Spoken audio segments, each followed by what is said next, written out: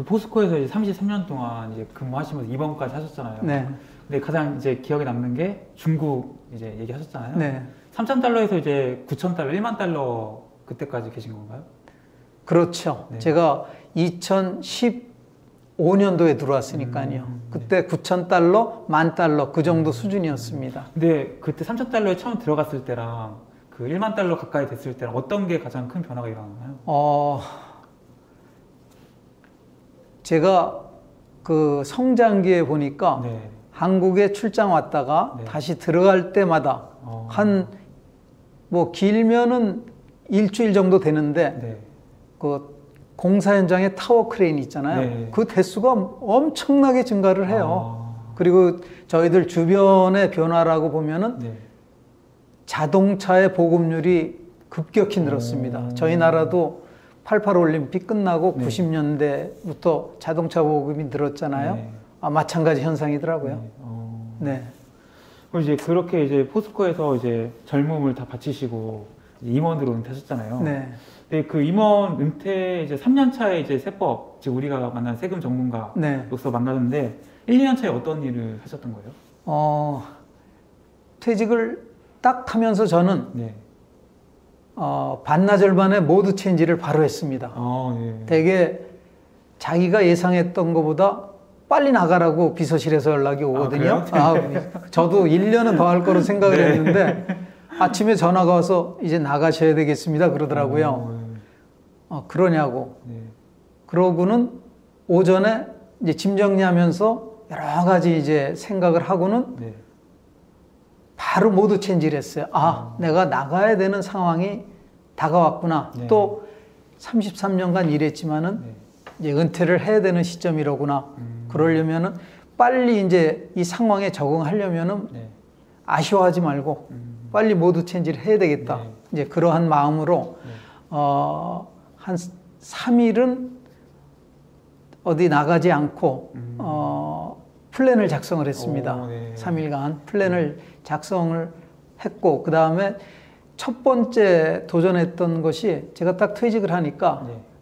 나중에도 말씀드리겠지만 이 포스코 건설 이제 R&D 센터장을 마지막으로 퇴직했거든요. 네.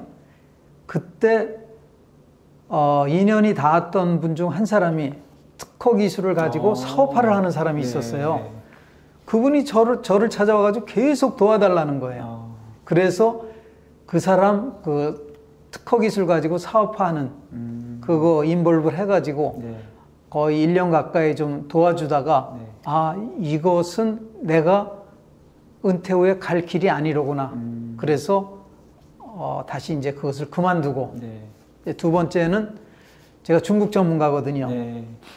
중국의 도금 공장을 합작으로 짓기 아, 위해서 네. 어, 제 친구 중에 어, 도금 기술을 갖고 있는 친구가 있었어요. 네. 그 기술을 가지고 어, 중국 그 제철소에 들어가서 음. 어, 제안을 했습니다. 네. 그 당시 이제 중국의 도금 기술은 한국보다는 한 단계 아래였어요. 네. 그러니까 저희 기술을 갖고 들어가면은 좋아하죠. 음. 원, 좋아한다는 것은 원가 절감을 많이 한다는 그쵸, 거예요. 그쵸. 그래서 제, 제안을 했더니 네. 어, 바로 하자 그러더라고요. 네. 그래서 그쪽 팀들하고 사업 계획서 쓰고, 그 다음에 한국에 와서 어, 공장, 포스코나 어, 현대제철이나 네. 이제 투어를 하고 보여주고, 그러고 있는데, 그러고는 이제 마지막 단계가 그 성에다가 공장 설립 허가를 신청해야 네, 되거든요. 네, 네. 설립 허가를 신청했더니 전기 도금 공장이라고 네. 공해 산업이라고 허가가 안 나오는 거야. 아 이게 끝이로구나. 그래서 포기하고 어. 이제 포기하고 아 영어 공부나 하자 그래서 도서관 다니다가 이 뒤에서 나오는 세법을 저에게 아, 공부하라고 권유했던 그 친구를 만난 겁니다. 아. 그래서 결국은 거기서부터 여기 시작이 된 겁니다. 어, 지금 이제 포스코에서 R&D 센터장을 하시다가 세금 네. 전혀 다른데 보통 그러면 다른 임원분들 지인 있으실 거 아니에요? 네네. 어떤 일을 하고 계세요? 대개 저희 주변에 보면은 네. 은퇴 후에 세 가지 유형이 있습니다. 네. 첫 번째는 아, 그동안 고생 많이 했으니까 놀자. 그죠, 그죠. 놀자. 네. 노는데 생각을 해보세요. 한 달 내내 1년 12달 등산 다닐 겁니까? 골프하러 다닐 겁니까? 여행하러 다닐 겁니까? 이런 걸 하더라도 일거리가 있어야 돼요. 음. 있으면서 해야 되거든요. 네. 그런 유형이 있고 또 하나는 여러 가지 개인적인 사정 이런 거에 의해서 재취업을 하는 경우가 있습니다. 이것은 상당히 힘듭니다. 음. 재취업은. 음. 또 재취업 한다 하더라도 그 사람의 영업력을 아. 빼먹기 위한 거기 때문에 네. 아, 생명이 한 2년, 음. 길어야 3년 이 정도 갑니다. 음, 네. 그리고 이제 세 번째 마지막 그 유형이 바로 이제 제가 추구하던 건데 음. 아 나는 이제 은퇴를 했구나. 네. 그러면은 80세, 90세, 100세까지 내가 오랜 기간 할 수 있는 네. 그런 잡을 찾아야 되겠다. 음. 이제 그렇게 시작이 된 겁니다. 많은 분들 궁금하실 것 같아요. 이게 포스코 임원을 하다 갑자기 세금 전문가가 어떻게 되셨는지 그게 아무나 할 수 있는 일 아니잖아요. 네, 네. 어떤 과정을 좀 거- 거치신 건가요? 네. 이제 제가 지금 위치에 있으면서 여러분들을 만나는데 네. 그 사람들 공통적인 질문이 어, 당신은 철강 전문가 아니냐 이거예요. 네, 그쵸, 그쵸. 그런데 어떻게 세금 전문가로 바뀌었느냐 이해가 안 간다는 네. 거예요. 이 누구나 다 은퇴를 하면은 은퇴 이후에 무엇을 하면서 시간을 보낼 것인가 고민을 합니다. 네. 저도 마찬, 마찬가지였고 이때 방향을 잘 잡아야 됩니다. 그래야 정말 그 후회 안 하고 어, 시간 낭비 안 합니다. 네. 저는 은퇴 후에 어, 좀 억울했어요. 네. 왜냐하면은 이제 세상이 다 보이고 음. 무엇을 하든지 자신이 있는데 은퇴했다고 손을 놓고 네. 옛날 말로 할아버지가 돼서 네. 하루 어떻게 보낼까 이 고민하는 것은 너무 억울하다는 생각이 들었어요. 그래가지고 이제 새로운 잡을 찾아봐야 되겠다. 네. 그리고 이제 생각을 해서 어, 시도를 했고 대신 새로운 잡을 찾는다면 어떤 기준이 있어야 되거든요. 네. 저는 이 잡에 대한 세 가지 기준을 갖고 있었습니다. 음. 첫째는 네. 오래 할 수 있는 일, 어. 70, 80, 90까지도 할 수 있는 일. 네. 이것은 제가 어디서 어, 확신을 가졌냐면은 제가 세법을 공부하고 조세 연구소장으로 일을 했던 그 세무회계법인이 있어요. 네. 거기에 83살 잡수신 세무사가 출퇴근을 하시더라고요. 아, 진짜요? 어, 와, 그거. 보고는 아 바로 저거다. 음. 오래 할 수 있는 일은 저렇게 해야 되는 거다. 음. 이제 그 거, 거기서 이제 네. 제가 확신을 가졌고 음. 두 번째는 저는 이제 은퇴한 사람이잖아요. 네. 은퇴했다는 것은 뭐 직장을 그만둔 것도 있지만 어떻게 보면은 수입, 네. 가, 가정 생계를 위해서 돈 버는 것 이런 것에서도 빠져나가는 거거든요. 네. 그래서 결국은 좀, 좀 자유스러워야 돼요. 음. 그래가지고 두 번째는 내가 일하는 그 시간을 네. 내 마음대로 음. 스케줄링 하거나 아니면 조절할 수 있는 일. 그럼 내가 나가고 싶으면 나가고 안 나가고 싶으면 안 나가고 11시에 출근하고 싶으면 11시에 출근하고 이런 이게 두 번째 기준이었어요. 내 마음대로 내가 일하는 것을 시간을 조절할 수 있어야 된다. 세 번째는 어떻게 보면 중요한 것 중에 하나인데 세 번째는 수입에 대해서는 생각하지 말자. 수입을 생각하면요 안 보여요. 근데 수입을 내가 일을 하면서 얻어지는 수입을 맨 후 순위로 돌려놓으면은 네. 많이 보여요. 음. 그래서 이 세 가지 기준을 가지고 네. 이제 어, 시도를 했고 아까 말씀드린 두 차례 새로운 잡을 잔- 찾는데 이제 실패를 했잖아요. 네. 그 뒤에 도서관 다니면서 공부를 하고 있는데 운 좋게 강남에서 30, 30년 이상 세무사라는 친구를 만난 어, 거예요. 네. 세무사를 하고 있죠, 현재도. 네. 이 친구가 저의 컨디션, 음. 열정 이런 걸 보더니 네. 저보고 야, 너 부동산 관련 세금 공부를 해봐라. 어. 에? 내가 철강 전문가인데 무슨 세금 세금 공부라는 거야 그랬더니 아니야. 지금 우리나라 그 세금 시장은 네.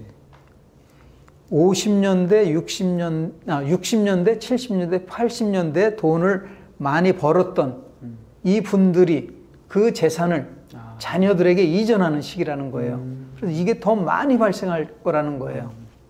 그래서 공부를 하라는 거예요. 네. 그래서 야 알았어. 그러면 한 달만 시간을 줘. 음. 그러고는 내가 한 달 후에 답을 줄게. 네.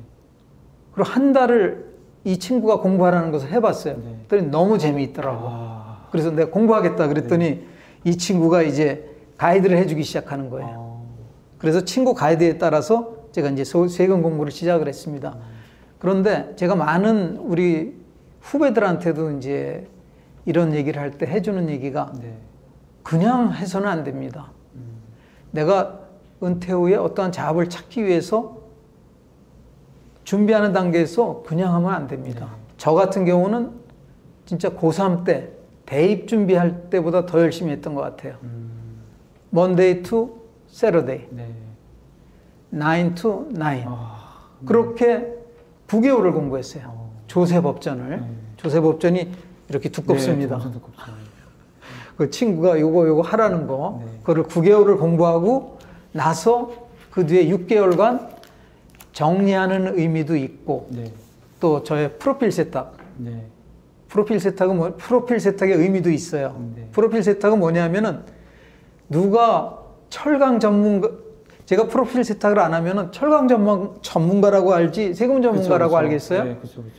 그런 두 가지 목적으로 책을 썼습니다. 음. 그래서 첫 번째 네. 기막힌 부동산 절세 비밀이 이제 나왔고 네. 그 뒤에 종부세가 이슈가 되면서 많은 의뢰인들이 물어와요. 그래서 제가 스터디하고 상담해주고 하다 보니까 정, 공부가 다 돼버린 거야. 어. 아, 이거 책으로 써야 되겠다. 네. 그래서 두 번째 책, 종부세 핵폭탄 대비하는 완벽 솔루션이 이제 두 번째 나오게 된 겁니다. 그래서 저는 이제 현재는 이제 그 첫 번째 공부할 때 제 자산 이전에 관한 것, 네. 양도세, 증여세, 상속세가 있어요. 네. 자산이 부동산이 이동될 때 관련된 세금이 요거 세 개 외에다가 종부세, 네. 종부세를 하려면은 재산세를 공부해야 됩니다. 네. 취득세 네. 공부해야 됩니다. 그래서 여섯 개 세금을 이제 장착하고 있죠. 네. 저는 하여튼 지금도 후회하지 않는 것은 네. 아, 이 세금 전문가로 방향을 너무나 잘 잡았다고 생각을 합니다. 그 세금이 진짜 일반인들이 접근하게 숫자도 있고 계산도 해야 돼서 네. 어려운데 어떻게 공부하셨어요 구체적으로? 가장 기본이 되는 게 조세 법전이에요. 네. 조세 법전 가지고 보면서 네. 제가 그 두 번째로 어, 참 관심을 갖고 본게 네. 홈택스에 들어가면은 아, 네. 많은 그 사례들. 상담 사례들이 네, 있어요. 네. 어. 그거를 보면은 네. 제가 그것을 보면은 엄청 도움이 돼요. 음. 제가 상담한 거나 네, 마찬가지예요. 그렇죠, 그렇죠. 저는 실전 경험이 없잖아요. 음. 실무 경험이. 네.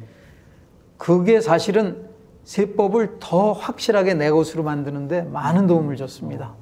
그러니까 조세 법전하고 이제 홈택스에 나와 있는 사례들 사례들. 네. 공부하셨군요. 네. 어.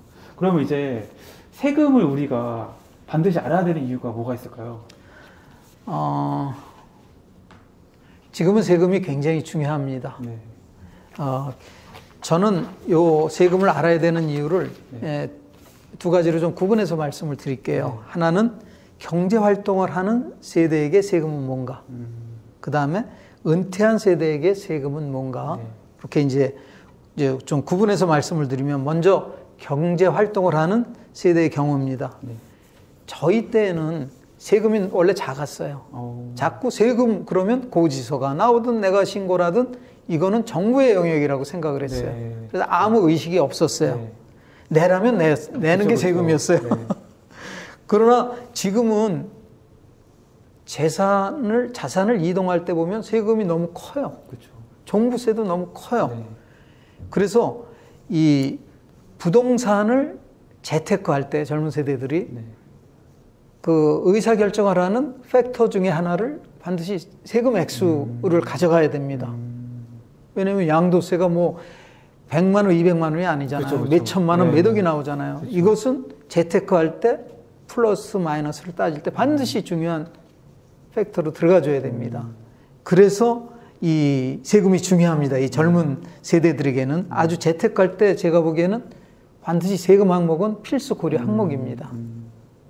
그래서 이제 젊은 세대들, 경제활동 세대들은 이게 네. 필요하고, 그 다음에 은퇴 세대의 경우에는 네. 은퇴자는 대부분들이 회사 다닐 때처럼 정기적인 소득이 없어요. 그렇죠. 연금이 주, 주고 네. 뭐 준비 잘한 사람은 그 외의 것도 있겠지만 그러기 때문에 양도세를 더 낸다, 재산세를 더 낸다, 종부세를 더 낸다 했을 때 네. 이것은 그 가계 자기 그 cash flow에 영향을 많이 미칩니다. 음. 그래서 이것을 세금을 알아가지고 네. 이것을 줄일 수 있다는 것은 제3의 소득이 될 수 있는 거예요. 음.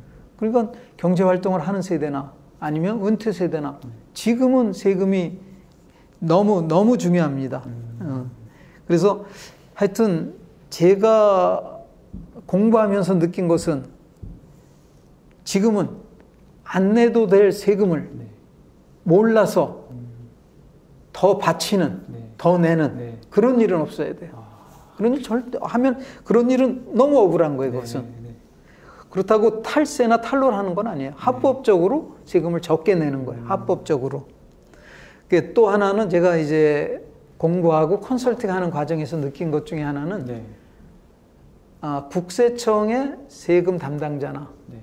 또 우리가 가까이 우리 가까이에 있는 세금 신고를 대신해 주는 세무사나 네. 다 알지 못해요. 음. 깜빡깜빡 할 때가 어. 있어요. 그렇기 때문에 네. 내가 어느 정도의 그 세금 그 지식을 가지고 네. 그 사람들하고 같이 세금 내는 거 관련해서 어, 상담을 하고 또 그 일을 진행한다면은 아마 많이 세금을 줄일 수 있을 겁니다. 사실상 세금이 이제 돈을 버는 거네요, 사실. 돈을 버는 거죠. 음.